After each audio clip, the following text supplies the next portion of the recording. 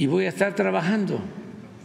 Además me voy a dedicar por completo a escribir, que siempre me ha apasionado. Cuando he escrito eh, mis libros en condiciones muy difíciles, porque estoy trabajando en este eh, asunto, este asuntito, este eh, y voy eh, escribiendo en la camioneta, me levanto temprano a escribir, en la noche. Eh, le agradezco mucho a, a Laura, que lleva años conmigo y con el paso del tiempo y además por el béisbol precisamente me afecté este dedo porque este, me tiré a agarrar una línea, hice una atrapada, pero me quedó la mano abajo y no me compuse el dedo. Entonces ya eh, solo Laura este, describe, descifra, este, eh, eh, pero me voy a dedicar a eso.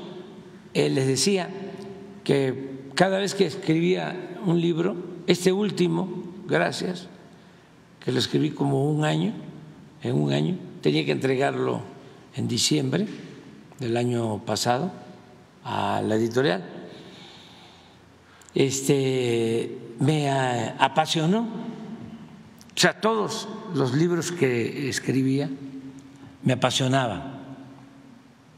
Recuerdo uno que hice que me apasionó menos que fue cuando nos hicieron el segundo fraude en el 12 y que quedaron eh, nuestros simpatizantes, no todos, pero sí los dirigentes muy desilusionados, muy desmoralizados, eh, casi todos diciendo no se va a poder, así no se va a poder eh, las cartas están marcadas, eh, los dados están cargados, va a ser siempre fraude y fraude y fraude, y siempre va a ser con el aparato del Estado, con dinero, van a comprar los votos, lo que hacían.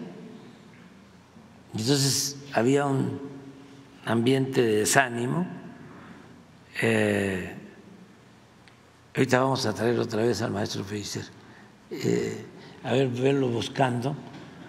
Este, y escribí un libro que se llama En ese tiempo, fue pasando la, la segunda elección presidencial, yo también tenía ganas de retirarme y no volver a ser candidato.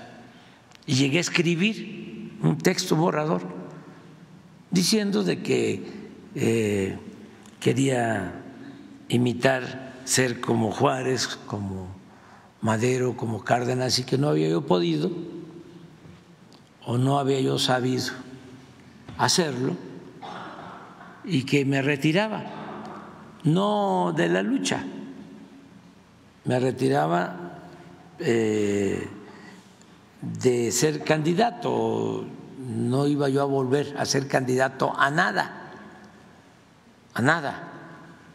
Y iba yo a leer ese texto en el Zócalo. Y ya estábamos formando Morena, creando Morena. Em, y que me iba yo a dedicar a eso, pero que ya no iba yo a ser candidato a nada, porque me molestaba mucho, mucho, mucho, ahora ya lo puedo decir, este, que mis adversarios decían que era yo un ambicioso, vulgar, que estaba yo obcecado con ser presidente, eh, que era lo único que me importaba. Me acuerdo que me recetó un editorial, El País, pues, ¿saben cómo lo titularon? Obrador, un lastre. Claro que les contesté de inmediato porque ya había redes sociales. Eh, ese era el ambiente. Entonces dije, no, los voy a mandar al carajo y les voy a demostrar de que no soy un ambicioso vulgar, que lucho por ideales y lucho por principios. Pero después lo pensé más y dije, este, todavía hago falta. Vamos de nuevo. Este, y un poco también, ¿no? Porque la política es razón y pasión. No se pueden hacer las cosas importantes en la vida sin razón, pero es indispensable la pasión. A veces las cosas grandes que valen la pena eh, se hacen con mucha pasión. Entonces imaginaba yo,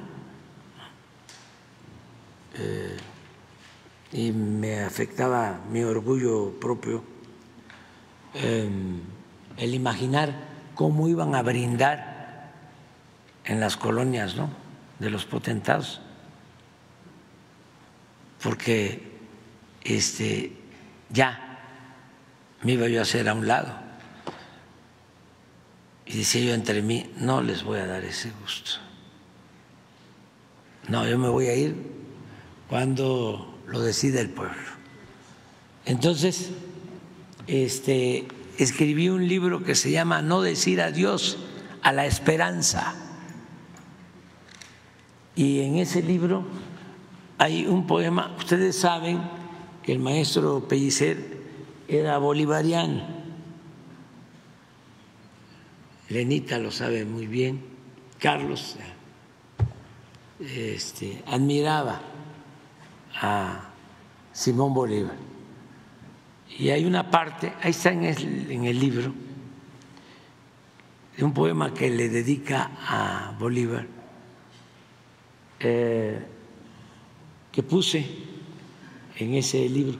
Y bueno, siempre escribir me ha apasionado y yo espero que ahora que me voy a Palenque, que voy a hacer este libro, que me va a llevar tres, cuatro años, porque es una investigación, va a llevar mucho tiempo, me apasione y que me ayude a compensar eh, el que ya no voy a tener la actividad que por años he llevado a cabo, porque es así, cortar de tajo con una actividad de lucha desde hace décadas y ya no quiero saber nada de este, la actividad política.